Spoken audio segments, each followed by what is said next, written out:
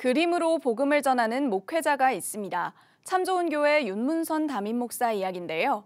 20년간 15번에 걸쳐 기독교적 메시지를 담은 작품 전시회를 열고 있는 윤문선 작가가 5일 초대전 아버지의 마음을 열었습니다. 자세한 내용 장현우 기자가 보도합니다.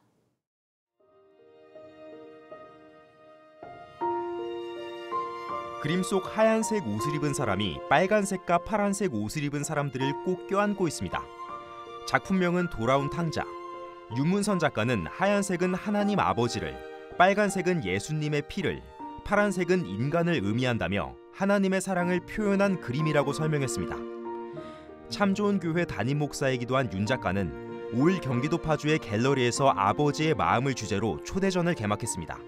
이 그림을 보면 하나님이 나를 얼마나 사랑하시고 나를 얼마나 생각하시는지 마음속에 많이 너무 많이 느껴지고 하나님 날 항상 기다리고 계시는구나. 윤문선 작가는 이번 초대전에서 총 52점의 작품을 선보였습니다. 윤 작가는 그림을 통해 관람객들이 주님의 용서와 연민을 느꼈으면 좋겠다고 말합니다. 복음을 전하고 싶었습니다. 근데 이제 설교를 통해서도 복음을 전하고 개인 전도를 할 수 있지만은 이 그림을 통해서도 어, 복음을 전할 수 있다는 믿음을 갖고 전시회를 기획했습니다. 윤 작가는 미술대학 대학원을 졸업하고 고등학교 미술교사를 지내며 작품 세계에 뛰어들었습니다.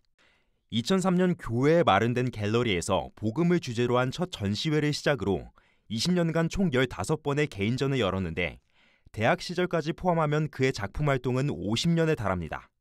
5년 전 미국을 방문해 작품전을 개최하기도 한 윤 목사는 반응이 좋아 국내 미랄 미술관에서 한 달간 초대전을 열기도 했다고 전했습니다. 어, 뉴욕의 롱아일랜드의 아름다운 교회에서 전시회를 했을 때 에, 주일 예배를 마치고 전시장에 왔더니 많은 사람들이 그림을 사겠다고 전화번호와 이름을 남겨놓았습니다.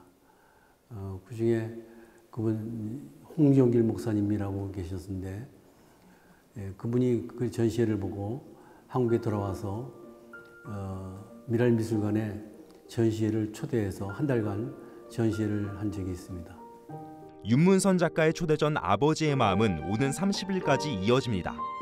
윤 작가는 더 많은 이들에게 그림으로 복음을 전하기 위해 앞으로도 전시회를 계속 마련할 것이라고 밝혔습니다. 구티비 뉴스 장현우입니다.